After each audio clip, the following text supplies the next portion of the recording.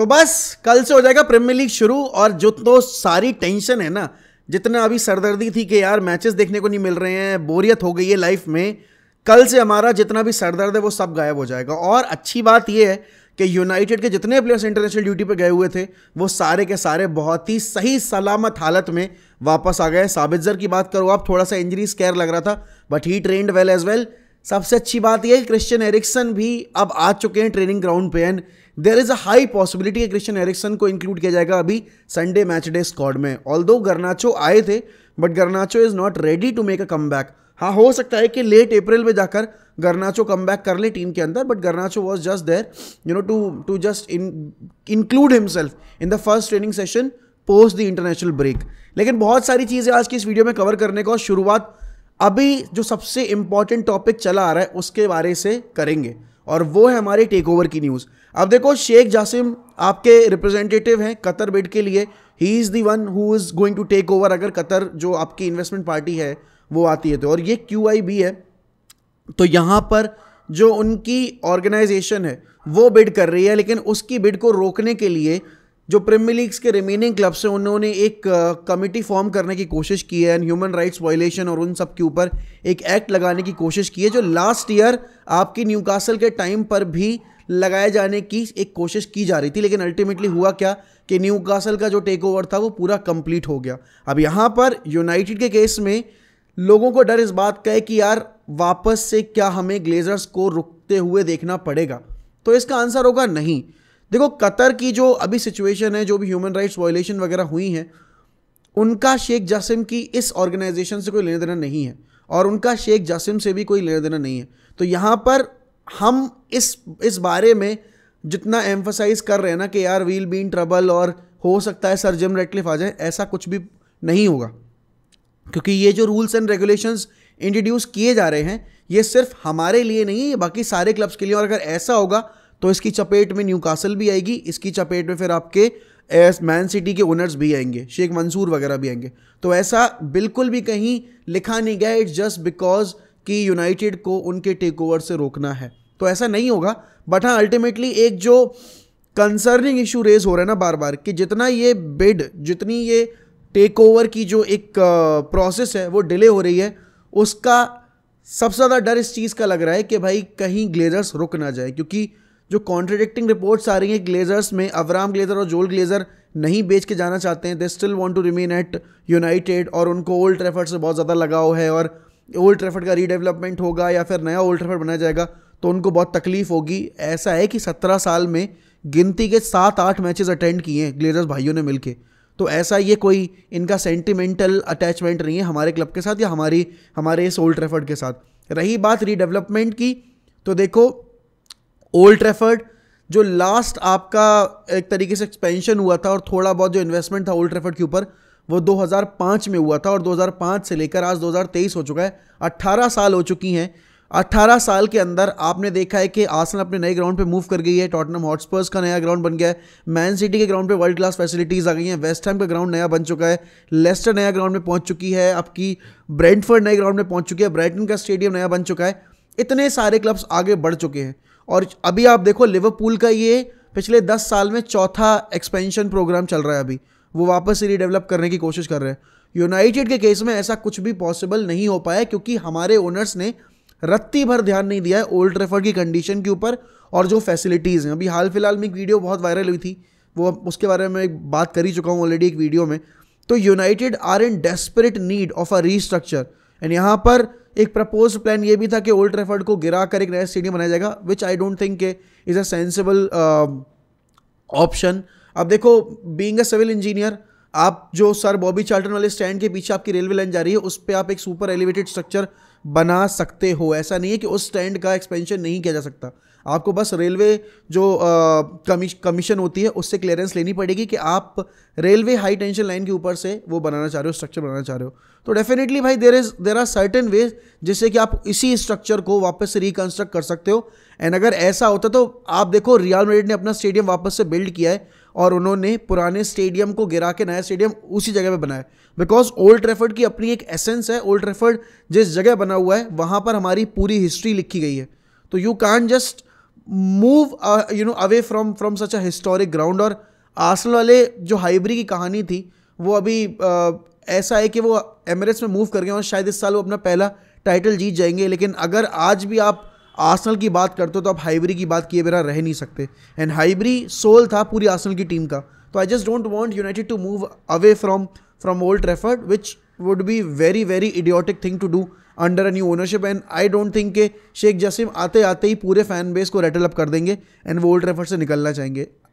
बने, बनेगा स्टेडियम अगर तो रिकन्स्ट्रक्ट होकर बनेगा एंड उसमें टाइम भी लगेगा, एक एक स्टैंड बनाना पड़ेगा। आप सारा स्टेडियम एक बार में कंस्ट्रक्ट कर नहीं सकते और अगर करोगे तो आपको किसी दूसरे स्टेडियम पे खेलना पड़ेगा। अब वो स्टेडियम कौन सा होगा? सिटी के पास इतनी कैपेसिटी नहीं है कि वो चौहत्तर हज़ार, पचहत्तर हज़ार की जो यूनाइटेड का फ़ैन बेस है, उसको अकोमोडेट कर ले अपने नए स्टेडियम में। फिर एक ही ऑप्शन बचता है आपके पास और वो होगा शायद आपको देखो अब वेम्बली पे खेलना पॉसिबल इसलिए नहीं हो पाएगा क्योंकि वेम्बली लंदन में है। लंदन से यूनाइटेड का जो मैनचेस्टर का फ़ैन बेस है, वो हर हर वीक तो ट्रैवल करके जाएगा नहीं, अब होम गेम्स के लिए भी। तो लेट्स सी क्या होता है बट हाँ एक प्रपोज प्लान तो है। स्टेडियम को रिकन्स्ट्रक्ट करने का। दूसरी चीज़ यहाँ पर जो है, वो ये है कि रासमस हॉयलैंड आपको पब्लिक स्टेटमेंट देते सुन चुके हो आप उनको कि भाई he loves Manchester United and he would want to play for Manchester United एक इंटरेस्टिंग चीज़ जो हो रही है सोशल मीडिया पे कि रासमस हॉयलैंड ने यूनाइटेड के मेजॉरिटी प्लेयर्स को फॉलो किया हुआ है इंस्टाग्राम पे।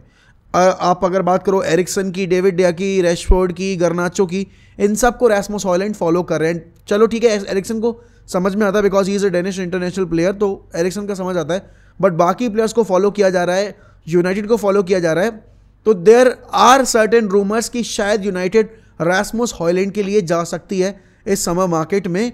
एंड इसका लेना देना इस चीज़ से बिल्कुल भी नहीं है कि हम उसके अलावा दूसरा सेंटर फॉरवर्ड साइनिंग नहीं करेंगे, क्योंकि सुनने में ये आया है कि यूनाइटेड एंटनी मार्शल से मूव ऑन करना चाहती है। अब आप देख लो कि एंटनी मार्शल अभी भी एक तरीके से अपने आप को प्रूव नहीं कर पाए हैं। और इस सीज़न में जितनी ज़्यादा इंजरी इश्यूज़ रहे एंट्री मार्शल के आई डोंट थिंक कि यूनाइटेड अगले साल टेनहैक जैसे मैनेजर के अंडर एक ऐसे प्लेयर पर गैम्बल खेलना चाहिए जो अपने आप को फिट नहीं रख पा रहा है।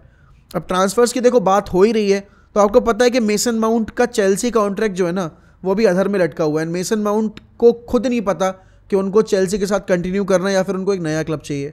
अब बहुत सारे यूनाइटेड फैंस ना इस बात पे बटे हुए हैं कि हमें ब्रूनो का बैकअप चाहिए and Mason Mount could be that one player जो कि आके सीधे हमारी फ़र्स्ट टीम में इनहेरिट हो सकता है, क्योंकि he is a Chelsea product and Chelsea के लिए he is he has been one of the best players in the last three four years तो डेफिनेटली एक, आप कह सकते हो एक अच्छा ऑप्शन रहेगा मेसन माउंट लेकिन the amount which will be include in this deal is outrageous sixty fifty million की बिड एक नंबर टेन प्लेयर के लिए जो कि आपका out and out number ten खेलेगा भी नहीं, हो सकता है वीक एंड वीक आउट भी ना खेले।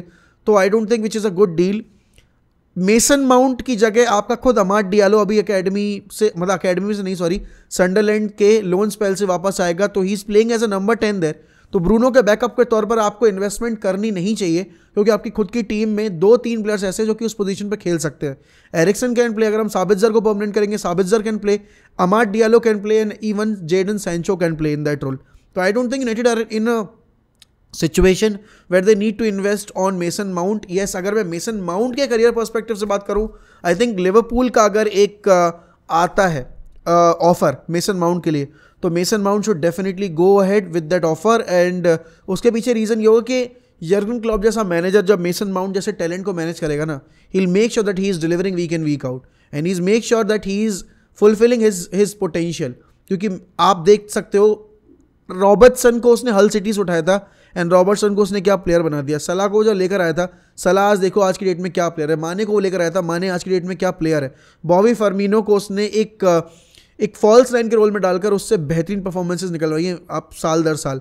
डेवे कोरीगी एक मतलब आप कह सकते हो ना वो जो मोमेंट्स में लिव करने वाले प्लेयर्स होते हैं, उससे उसने कितने कितने मैचेस निकलवा के दिखाए हैं। तो मेसन माउंट जैसा टैलेंटेड प्लेयर अगर लिवरपूल जैसी टीम में जाएगा जिनके पास अभी उस रोल का कोई प्लेयर नहीं है और एक एक उन्हें ऐसी साइनिंग की ज़रूरत भी है तो डेफिनेटली मेसन माउंट का करियर वहाँ बहुत प्रॉस्पर करेगा। बट प्रॉब्लम ये कि मेसन माउंट को खुद में अभी इस चीज़ पे भरोसा नहीं है कि उसको चेल्सी छोड़कर नया जो क्लब ढूंढना है, उसमें उसको, उसके डिमांडिंग वेजेस और उसका जो डिज़ायर्ड करियर है, वो मिलेगा या नहीं मिलेगा?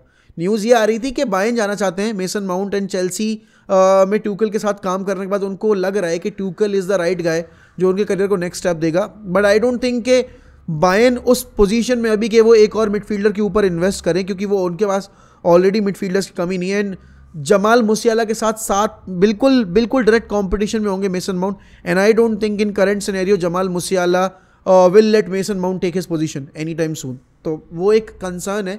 बाकी अगर uh, uh, उसकी बात की जाए uh, अगर आपके लिवरपूल टीम की तो लिवरपूल की टीम में भाई इंजरीज इशूज़ अभी भी लगातार बढ़े जा रहे हैं। थियागो स्टिल इंजर्ड लिवरपूल का अभी सीज़न पता नहीं बचा हुआ कैसा होगा। क्या लिवरपूल चैंपियंस लीग की प्लेसेस के लिए क्वालिफाई कर पाएगी या नहीं? क्योंकि देखो क्लब भी उतना ही कर सकता है जितना उसके पास अवेलेबल प्लेयर्स ऑप्शन होगा। अब यहाँ पर अगर मिडफील्ड उनकी काम नहीं करे, उसका सबसे बड़ा रीज़न ही यही है कि तियागो इस पूरे सीज़न में बहुत कम टाइम के लिए अवेलेबल रहा है और उस पूरी मिडफील्ड की जो जान है, वो थियागो ही है। और बिना थियागो के midfield you know looks like a lost bunch of idiots and उसमें देखो इडियट्स वाली कोई वैसी बात नहीं है कि मैं बेजती कर रहा हूँ बट वो हकीकत है। क्योंकि क्लॉप को सफ़र करना पड़ रहा है लिवरपूल फैंस को भी सफ़र करना पड़ रहा है इस चीज़ के चलते। एंड अगर चैंपियंस लीग नहीं आएगा तो वो जूड बेलिंगम के सपने, वो और बड़ी बड़ी साइनिंग के सपने आई डोंट थिंक ये वो पूरे हो पाएँगे। और उसके पीछे का रीज़न ये होगा, क्योंकि अगर आप चैंपियंस लीग क्वालिफाई नहीं करोगे तो आपका जनरेटेड रेवेन्यू जो है वो कम हो जाएगा। और ऑब्वियसली आपने इस साल कोई ट्रॉफी नहीं जीती है तो जो ट्रॉफी का बोनस होता है, वो भी आपको नहीं मिलेगा। एंड टॉप फोर जो सिक्योर करते हो, वो प्रीमियर लीग में जिस पोजीशन पर आप फिनिश करते हो, उसका भी आपको फंड मिल, जो रेवेन्यू मिलता है, वो भी आपको नहीं मिल पाएगा। तो बहुत सारे लिमिटेशंस लग जाएँगे नई विंडो में जाते टाइम और एफएसजी एक ऐसी ओनरशिप है जो कि पैसा नहीं देती है ज़्यादा।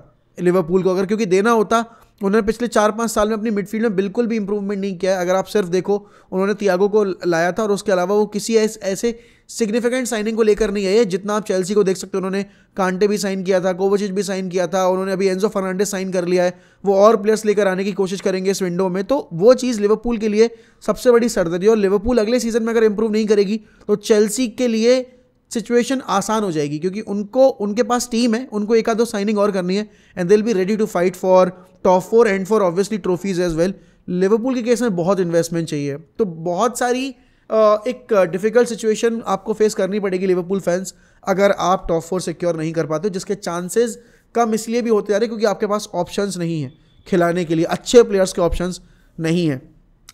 बट इसके अलावा जो बार्सलोना वाली न्यूज़ है, उसको हम दूसरी वीडियो में कवर करेंगे ऑन मोहक अनस्क्रिप्टेड एंड उस पर हम डिटेल में बात करेंगे तेबास के ऊपर एंड डेम्बेले एम्बेले के ऊपर एंड रियल मेड के अभी जो बचा हुआ सीज़न है उसके ऊपर। तो do check out Mohak Unscripted as well and guys we have made a new channel for all the cricket freaks Crick Bet जिसका जो लिंक है, वो आपको बायो में मिल जाएगा। जाओ जाकर सब्सक्राइब करो और आज उस चैनल पे नई वीडियो आने वाली है। एंड हम आई पी एल उस उस पर पूरा कवर करेंगे वर्ल्ड कप पूरा कवर करेंगे।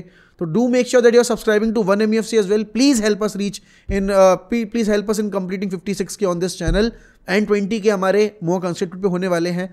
So keep supporting one M F C till then I see you next time bye bye take care